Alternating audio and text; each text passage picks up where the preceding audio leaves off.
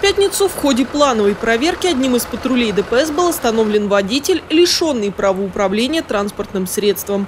Что интересно, наказание за это правонарушение суровое – 30 тысяч рублей штрафа и административный арест сроком на 15 суток, либо обязательные работы на срок от 100 до 200 часов. Однако, несмотря на строгость карательных мер, по информации ГИБДД, инспекторами ежедневно выявляются 2-3 таких случая. После выявления автомобиль нарушителя отправится на штрафстоянку, а он сам в суд, где и решится его дальнейшая участь.